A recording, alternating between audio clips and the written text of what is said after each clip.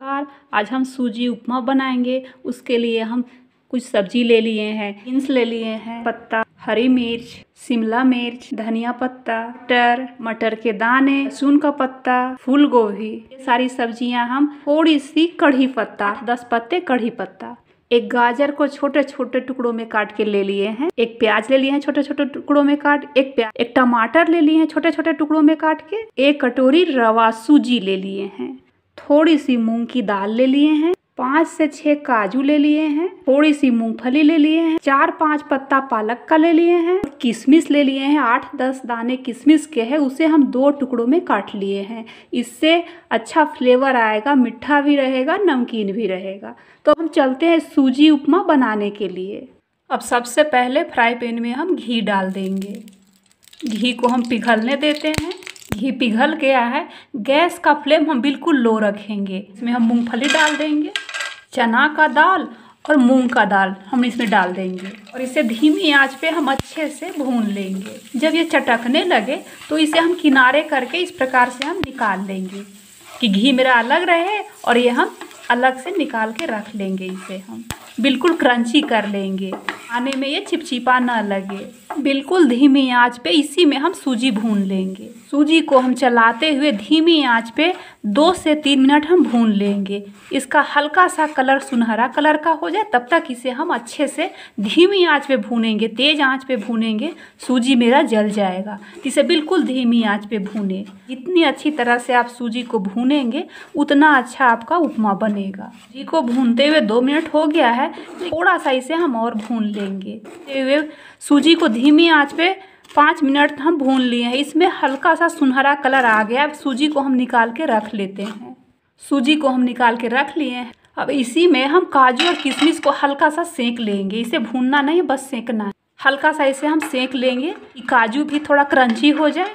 हल्का सा जो नमी है, काजू और किशमिश में और किशमिश को भी निकाल के रख लेते हैं। इस तरह से हमने मूंगफली को भी भून के निकाल के रख लिए हैं। काजू किशमिश को भी हम निकाल के रख लिए अब हम इसमें बटर डाल देते हैं और बटर से हम सब्ज़ी को भूनेंगे। बटर पिघल गया, इसमें हम प्याज डाल देंगे। बटर में हम प्याज डाल दिए। प्याज को बहुत अधिक भूनना नहीं है। इसमें हम गोभी डाल देंगे। कढ़ी पत्ता है, कढ़ी पत्ता डाल देंगे और इसे हम चला लेंगे। घी या बटर में बनाने से बहुत अच्छा टेस्ट आएगा उपमा का। गोभी को एक मिनट पकाने के बाद इसमें और जो मेरे पास हरी सब्ज़ियाँ हैं, सब हम डाल देते हैं धीरे धीरे करके। गाजर डाल देंगे। गाजर को भी हम दो से तीन बार इस प्रकार से चला लेंगे। गाजर को डालने के बाद अब इसमें हम बीन्स डाल देते हैं।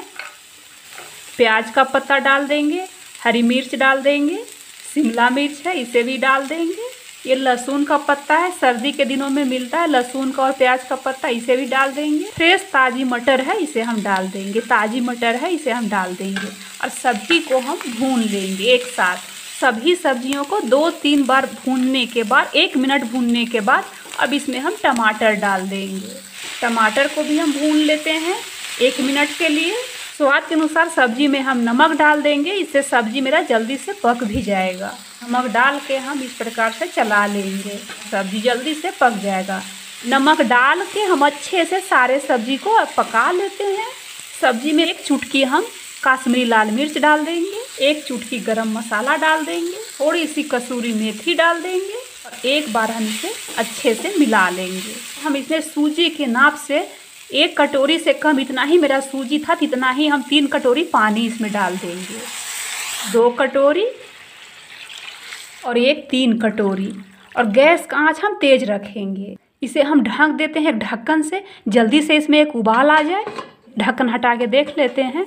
देखिए, सब्ज़ी में उबाल आ गया है। सब्ज़ी में हम भुना हुआ सूजी डाल देंगे। धीरे धीरे करके डालेंगे और मिलाएँगे। इस प्रकार से डालते रहेंगे और मिलाते रहेंगे। मिलाने के बाद अब इसे हम ढक के दो मिनट के लिए छोड़ देंगे धीमी आँच पे। गैस का आँच धीमा कर देते हैं और इसे ढक के पकने के लिए छोड़ देंगे। दो मिनट के लिए ढक देते हैं सूजी को पकाने के लिए। मिनट के बाद ढक्कन हटा के देख लेते हैं। देखिए कितना अच्छा परफेक्ट उपमा बन के तैयार है। आप देख सकते हैं नीचे में भी पूरा पानी सूजी सोख लिया है और बहुत अच्छा बना हुआ है। ना अधिक पानी है, ना कम पानी है। ला लेते हैं ऊपर नीचे अच्छे से। ऊपर से हम मूंगफली के दाल, चना के दाल और मूंग के दाल सभी को डाल देंगे। जो किशमिश भी हम डाल देंगे, सभी को हम एक बार मिला देंगे। इसमें जो हम किशमिश डाले हैं, उससे बहुत अच्छा फ्लेवर आएगा, मीठा मीठा भी लगेगा। वहाँ का टेस्ट भी बदल जाएगा। तो इस प्रकार से इसे हम मिला लेते हैं अच्छे से। ऊपर से थोड़ा सा धनिया का पत्ता थोड़ा सा पालक का पत्ता, ऊपर से थोड़ा सा घी डाल देंगे और इसे भी हम मिला लेंगे। अच्छी तरह से इस प्रकार ऊपर नीचे करके ऊपर से घी डालने से पूरा जो मेरा उपमा है, सो खिला खिला बनेगा। थोड़ा सा ऊपर से बटर डाल देंगे। बटर डाल के भी हम मिला लेंगे अच्छी तरह से।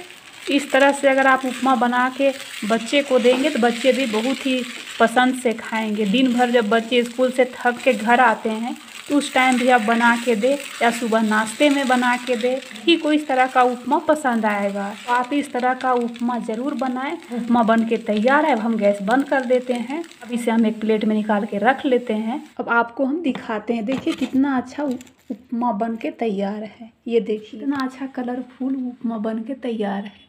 इस तरह से आप भी बहुत स्वादिष्ट और पौष्टिक उपमा बनाएँ और आप मेरे चैनल पर नए हैं तो मेरे चैनल को सब्सक्राइब करें, मेरे वीडियो को लाइक करें। वीडियो देखने के लिए बहुत बहुत धन्यवाद।